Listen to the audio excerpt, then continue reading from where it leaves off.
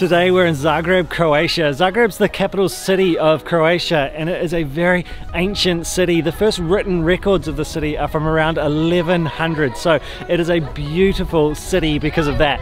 We are going to be exploring the food culture here in uh, Zagreb, but we also want to show you uh, food from all over Croatia because the food here is very regional. So we're going to be showing you food from the coastal regions of Croatia to food from the central regions. What we've eaten so far and discovered here in Zagreb is absolutely delicious, so let's get into it. In the Zagreb series, we're sharing with you traditional Croatian food and eating where the locals eat. In this video, we take you for a huge seafood feast and share with you cheesy strukli, one of Zagreb's iconic dishes.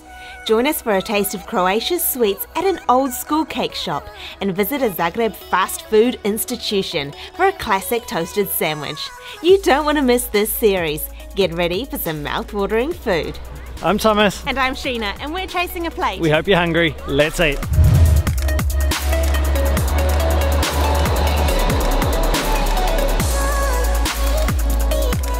I'm so pumped about today's video. We've got lots of Croatian foods to share with you. Uh, we're heading to our first spot, which is a seafood restaurant. And to get there, we're walking through Dolac Market. And Dolac Market is the main market in Zagreb. And we're just walking past all of the, the fruit and vegetable vendors. The vegetables look so vibrant. So the seafood restaurant, which is, I can see it right now, is on the edge of the square. There's lots of uh, tables outside so we can sit outside to eat our seafood feast. Let's get into it.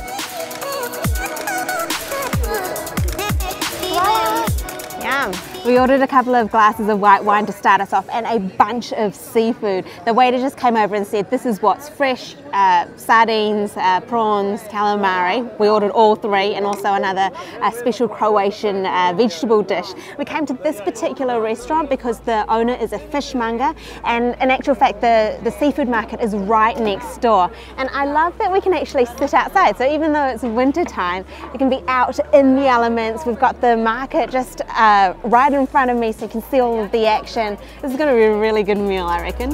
Voila! Perfect.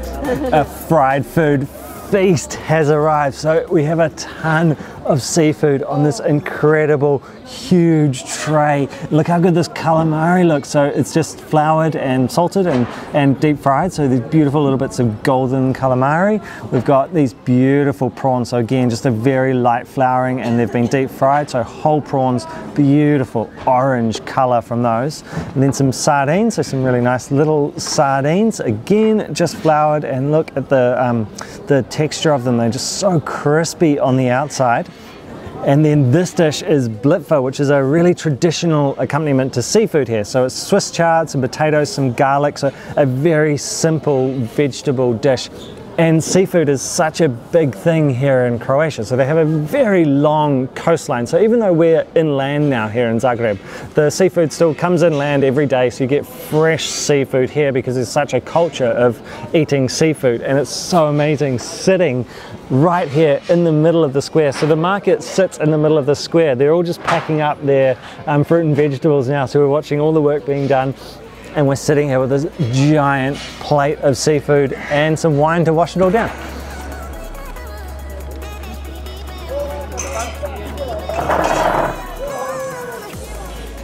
Loading up my plate with all the seafood and then this blitva. We've got some nice big juicy wedges of lemon, so I'm just gonna, oh, I hope I didn't get the camera there uh, drench all of my seafood with the lemon. I've got to get into these prawns. They look so juicy.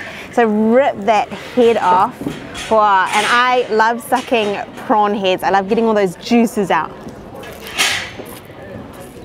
Mmm. Mmm. Oh. Mmm. Beautiful flavor in that prawn. Super sweet and I love how they're just very lightly floured. So rip the shell off this bad boy. Mmm, so good. Voila. wow. Very sweet and cooked to perfection. So the meat has a little bit of bite left to it.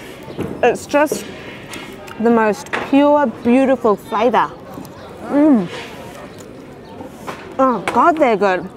Let's give this blitva a go. So a traditional accompaniment to seafood, so potatoes, Swiss chard and garlic. Mmm. Super simple. Probably needs a little bit of salt. Potatoes very creamy. The Swiss chard has been cooked right down, so it's very soft, but a very uh, pure flavour in that Swiss chard. It's really good. Nice big piece of lemon. We'll get it all over this seafood. I've got some sardines and some calamari here. I want a little piece of calamari to start me off. Mmm. Mmm. Oh. Oh, very good.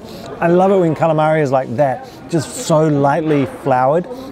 So you can truly taste the calamari. Sometimes it's just too thick in a very thick batter, takes over from the seafood. That is fantastic. Mmm. Oh. Mmm. And the texture of that is incredible. Very soft, not chewy at all, so very well cooked. And the it's got a nice crunch from that flour, but squirting the lemon on there just took the edge off that crunch, so it's not super crisp on the teeth. Now time for a sardine. I love whole sardines. Look at this guy. Oh, you can see all the bones in there, but they should be fine to eat, so we'll just dive right on it.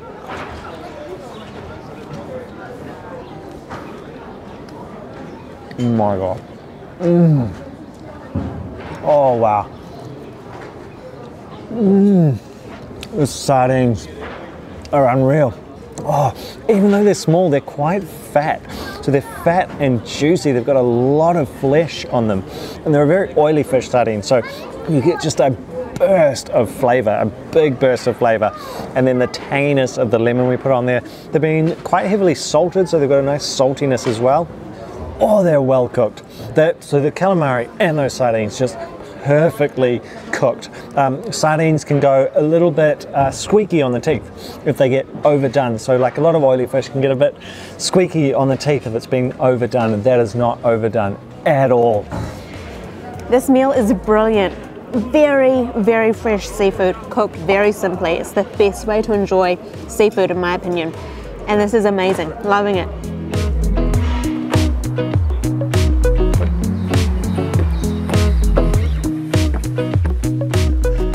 We've been wandering around the streets of uh, Zagreb. It's a great city to explore on foot, so there's lots of little side streets, so you can really get lost in the streets and explore. It's a really neat place on foot.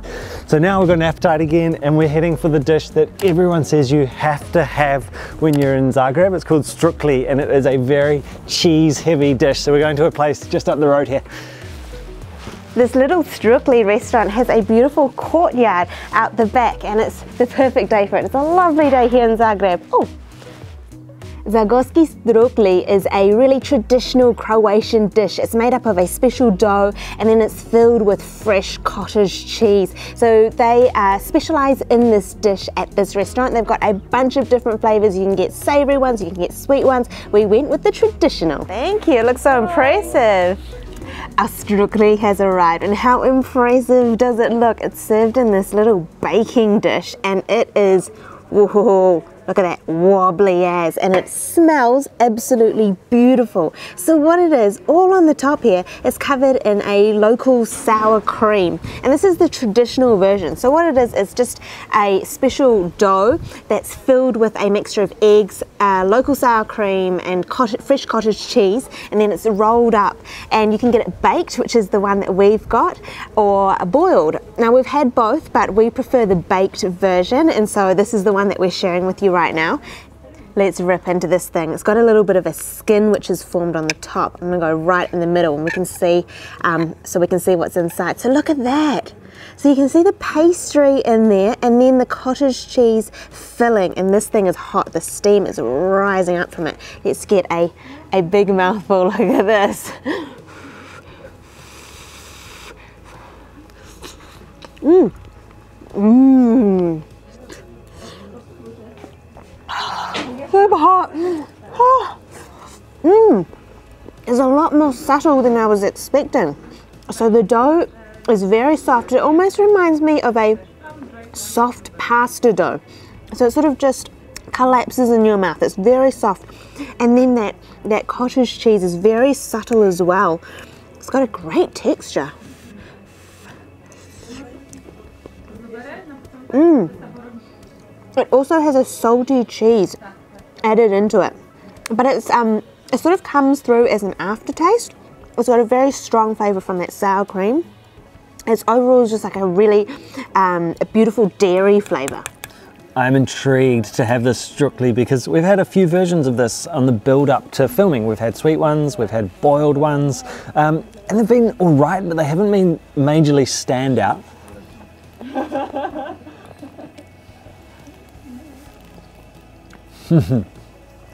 yes, I'm so glad we saved the classic for filming. This is fan- this is just fantastic. Ooh. Oh, it's hot. Wow, the texture is amazing. It's very squishy. Uh, texturally, it has sort of a mac and cheese sort of thing going on. So that dough is very squishy still. So like a really well cooked pasta. And then that cheese, it's super creaminess from the cheese. And the baked bits on top just add a little bit of um, different flavor and texture. This is very, very good. So this really jumps out to me. This is a fantastic dish. Very tasty and great saltiness from the cheese.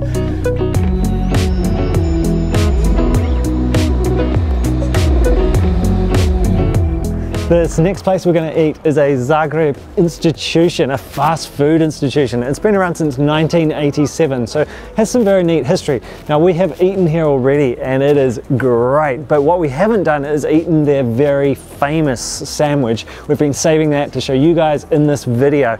So it's just up here and this is a, a little stand, sort of a street food style stand. Uh, normally it's very popular after drinking, so very late at night, but it's definitely not just drunken food. So let's head in and grab this sandwich.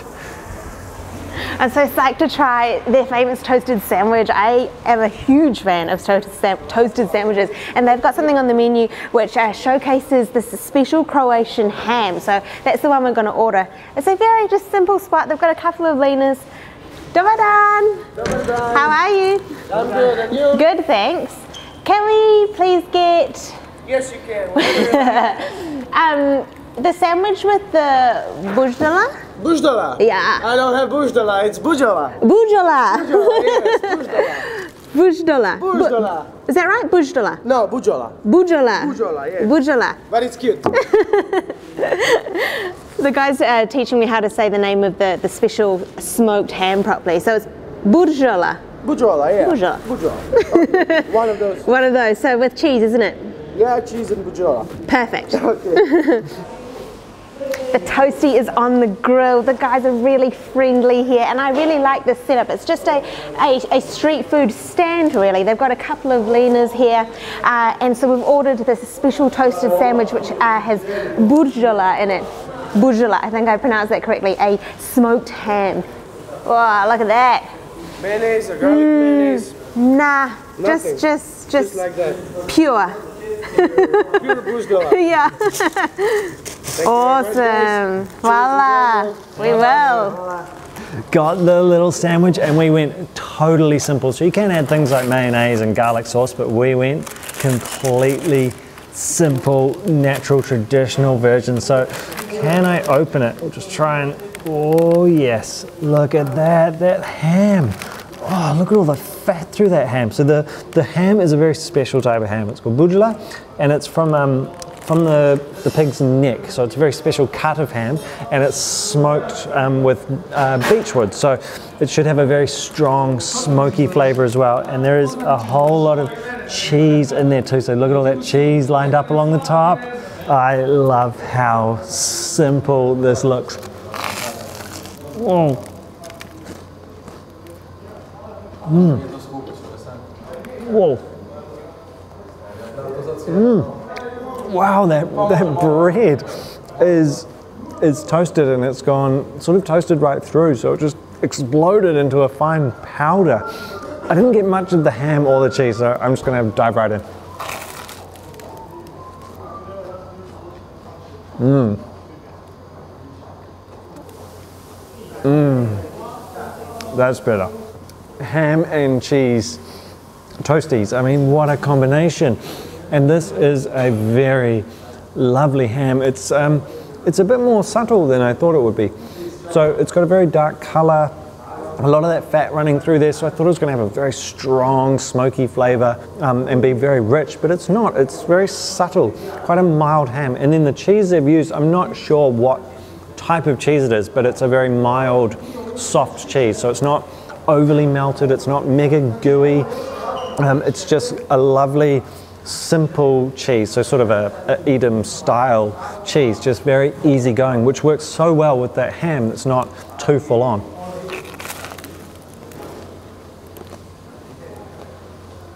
Mmm, The ham is beautiful. Very good ham, and that amount of fat on it is just coming through. The perfect amount just to soften it all up. This is an awesome street snack.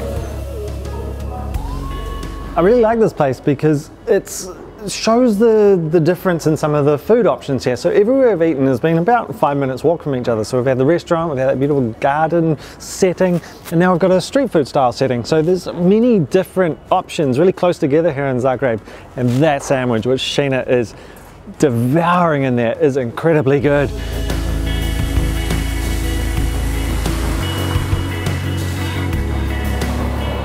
Sweets are a very important part of Croatian food culture. And just around the corner from where we're staying, we discovered this very uh, old school cake shop which specializes in traditional Croatian cakes. And cakes that we haven't seen anywhere else in the city. So we want to share some of our favorites with you. Let's head inside.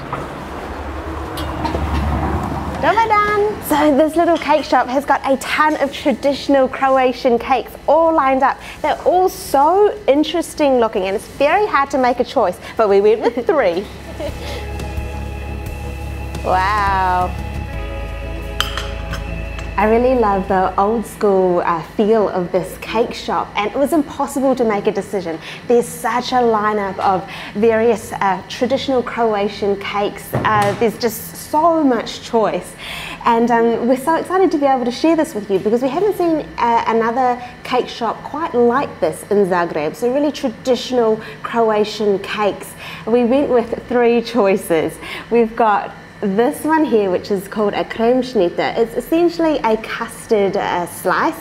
Look how wobbly that custard is, is. This one here is a punztorte, which is a, a butter cake, and then in the middle, it's got a, a filling which is drenched in rum punch, and it's got this really candy candy colored candy floss colored icing on the top. And then this spectacular looking thing which is made up of marshmallow. It's sitting in like a pastry tartlet case.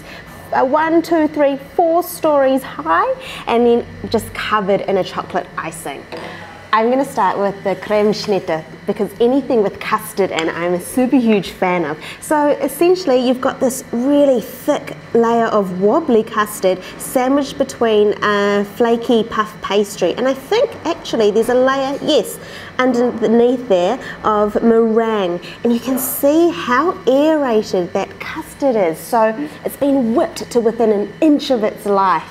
All right, ah, like listen to that, that flaky pastry. Whoa. I think I've got to go, whoa.